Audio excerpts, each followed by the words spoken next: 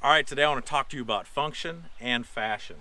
Here we've got two Humminbird units at the dash, and this is our In-Fisherman TV boat. This is a Starcraft STX 2050.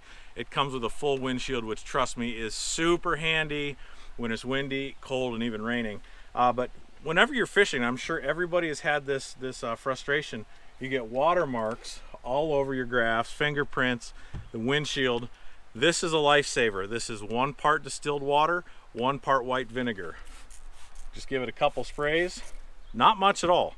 And take one of these rags and you just wipe it till it's clean and it takes all of the water spots out. Now I tell you this because you're not supposed to use Windex that certain levels of Windex or window cleaner that have uh, certain chemicals in it you're not supposed to use on your graphs. So the white vinegar and distilled water gets them absolutely spotless.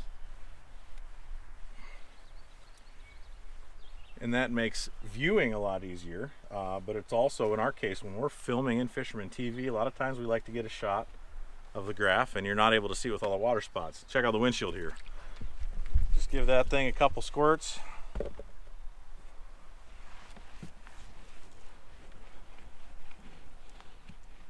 And here's the deal, you can buy a gallon of vinegar and a gallon of distilled water for like a combined of $4.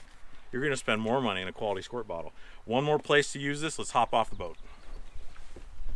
We love our Yamaha motors. Here I've got a 9.9 kicker, a 250 SHO, both four stroke motors. These are awesome motors. We like them to look good and you get water spots all over these too. Just give them a squirt, and everything disappears and it becomes super shiny. And again, this is probably that fashion side of things.